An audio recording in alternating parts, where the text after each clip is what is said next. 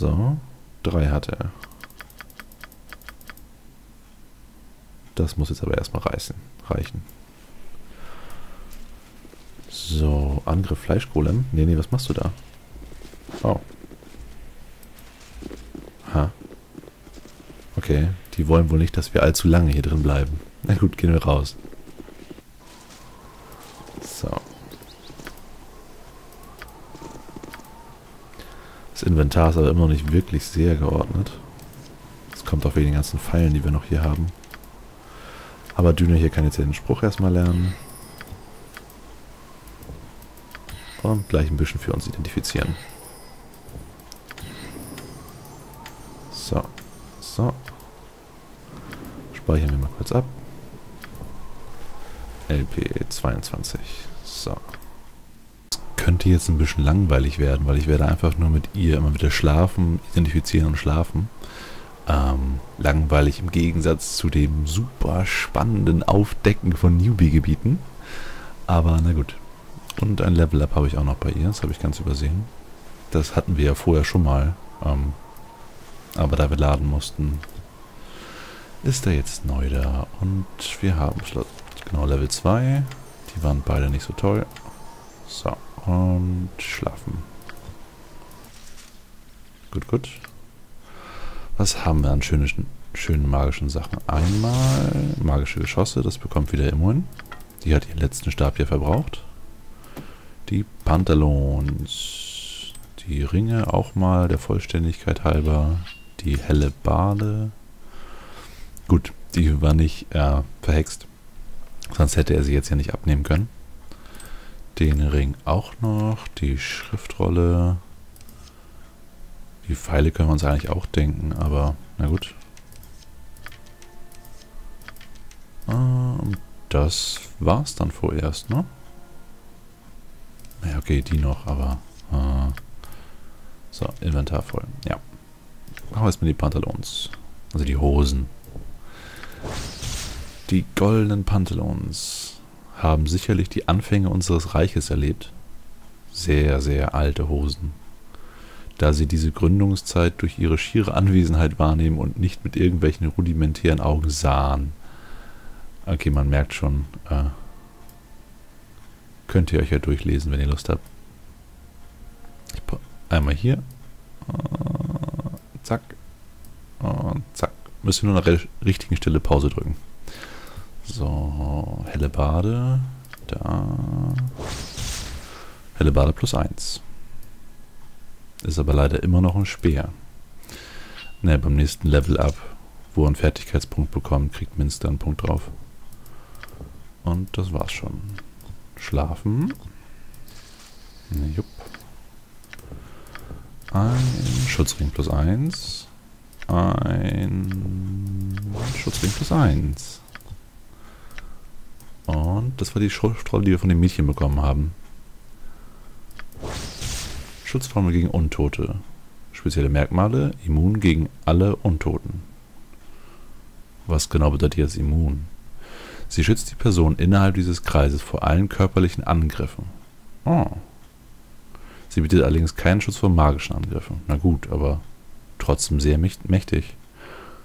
Wirkungsdauer 12 Stunden. Huha.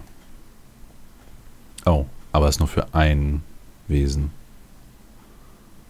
Reichweite 9 Meter. Hm. Naja, müssen wir irgendwann mal ausprobieren, wenn es eng wird. Der Ring ging an Gerugon und der andere war Jahira, glaube ich. Obwohl sie ist jetzt ja nicht mehr im Nahkampf, also lieber an Minsk, ne? So. Er kriegt den anderen Ring. Minus 3, ja, das ist schön. So, und das war's schon wieder. Schlafen. Jo. Das sind Eispfeile. Verdoppeln mal eben den Schaden, was ganz praktisch ist. Gehen dann immerhin... Oh, da brauchte sie nicht mal einen Spruch mehr für. Das ist doch gut. Pfeile plus 1. Schaden nicht. So. Und der eine Pfeil. Brauchten wir auch keinen Spruch für. Schön, schön. Pfeil des Zauberbruchs. Band den Zauber, der auf dem Opfer liegt. Oh. Bricht die magische Verzauberung. Das ist doch praktisch. Auch wenn es hier in Baldur's Gate 1 noch nicht so viele starke Verzauberungen gibt. Also Stone Skin, also Steinhaut gibt es hier glaube ich noch nicht. Aber trotzdem, ab in den Köcher. Also nicht den aktiven Köcher, aber immerhin scheint ja nur noch aus Pfeilen zu bestehen. Zumindest der Rucksack. Die Quest-Sachen sollten aber eigentlich alle zu... zu wem? Gerugon, ne? So. Das, das, das und Kylies Dolch. Ja, das machen wir demnächst auch nochmal. Allein schon, um es von der Liste zu streichen. So, jetzt ändern wir nochmal ihr Spruchbuch auf das. Ja, die Pfeile auch noch kurz. Feuerpfeile. Uh, was für ein Wunder. Die sind rot und das ist Feuer und die sind blau und das ist Eis. Ja, na gut. So, den auch weg. Dafür magisches Geschoss. Und das einidentifizieren lassen wir. Wir finden ja immer wieder mal was.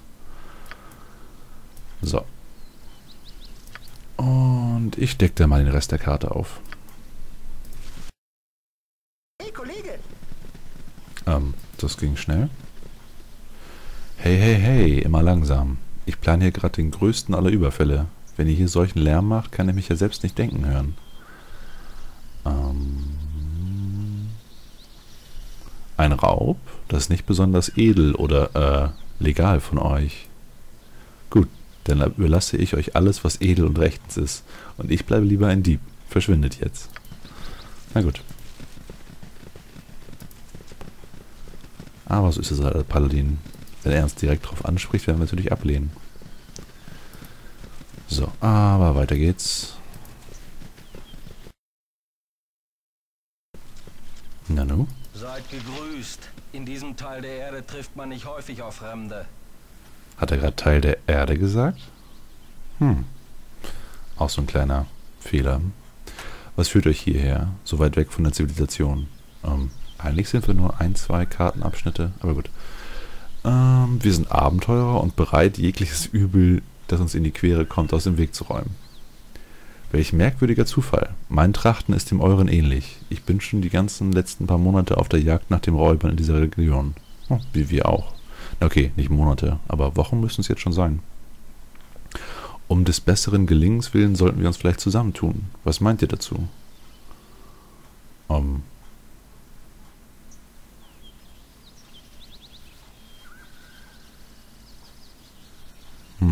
bisschen neugierig sind wir schon. Also, wir werden euch gegen die Räuber beistehen, aber nur, wenn ihr uns sagt, warum ihr sie schon monatelang verfolgt. Ihr Anführer, ein Oger namens Tatzok, Tatzok, der Name sagt uns doch was. Und er ist ein Oger. Okay. Hat einen Menschen getötet, der mir sehr nahe stand.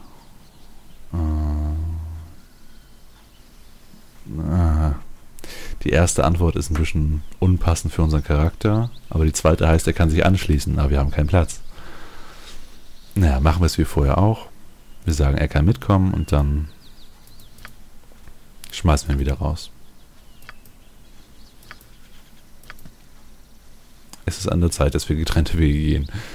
ja, wir sind sehr weit zusammengegangen. So ein Schritt oder so. Vielleicht treffen wir uns ja mal wieder. Jo.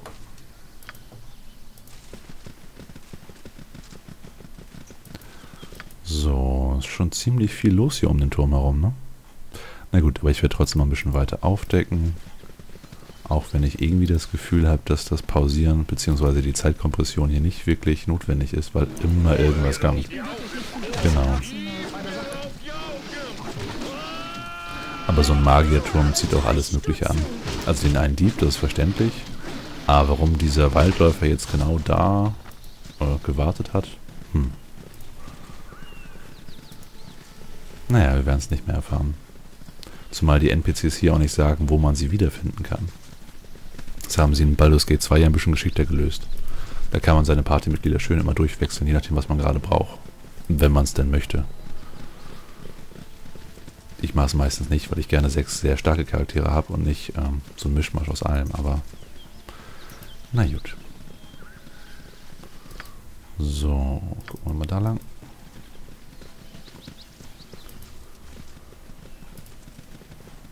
Jetzt ist nur echt die Frage, wie lange wir uns jetzt hier unten aufhalten müssen. Also mit unten meine ich das Gebiet hier weit weg von den bösen Banditen. Ähm, also wie lange wir uns hier aufhalten müssen, bis wir stark genug sind. Denn selbst wenn wir jetzt alle ein Level-Up hätten, das wären nur 10 Lebenspunkte mehr. So viel macht das auch nicht aus. Weil die hauen ja gut rein. Aber das müssen wir sehen. Also bevor ich wieder in das Gebiet da gehe, werde ich auf jeden Fall mit jedem ein Level-Up haben wollen. Das Bastard-Schwert plus 1, was schon ziemlich teuer ist. Da werden wir eine ganze Weile für unterwegs sein. Und vielleicht noch das zweite magische Schild. Das war zwar kein Turmschild, sondern so ein normales Schild, aber es macht ja fast keinen Unterschied. Und das wäre dann für Kirugan. Und Minsk, hm, der wird dann am wenigsten Rüstungsklasse haben. Und er hat auch am wenigsten Lebenspunkte. Da müssten wir uns eigentlich was einfallen lassen. Den einen magischen Ring hat er ja schon. Die Handschuhe machen Geschicklichkeit, ja. Obwohl er hat minus 2. Karl hat minus 1. Nö, das ist okay. Das ist echt okay. Und Khaled hat keinen Helm. Ähm, ja. Sollten wir unterwegs auch nochmal irgendwo aufsammeln.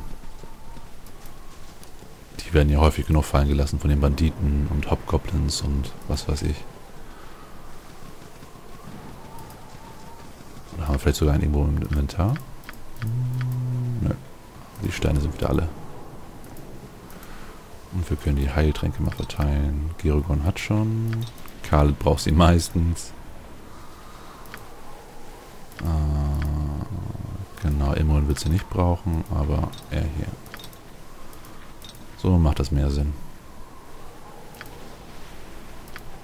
Hier braucht auch Steinchen. So. Und wir geben mal Jahiras Helm an Khaled. Ja. So. Weiter, weiter.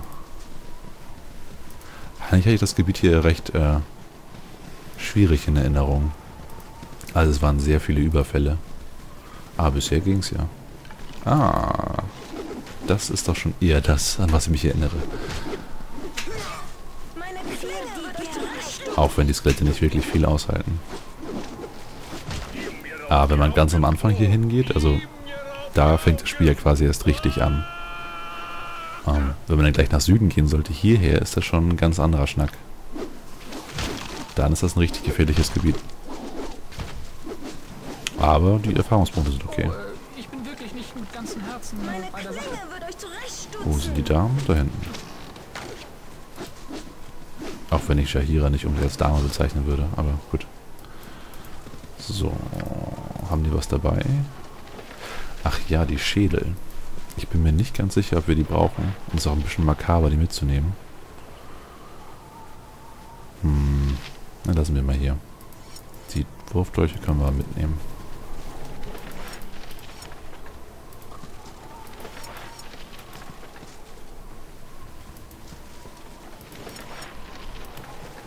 Dann haben wir einen ganzen Rucksack voller Wurfdolche. Das könnte schmerzhaft werden, wenn er auf dem Rücken fällt. So. Ah. Na gut. Dann schaue ich mich mal weiter um. In diesem Gebiet müsste eigentlich nichts mehr wirklich Wichtiges sein. Das heißt, ihr werdet ganz viele Skelette umfallen sehen.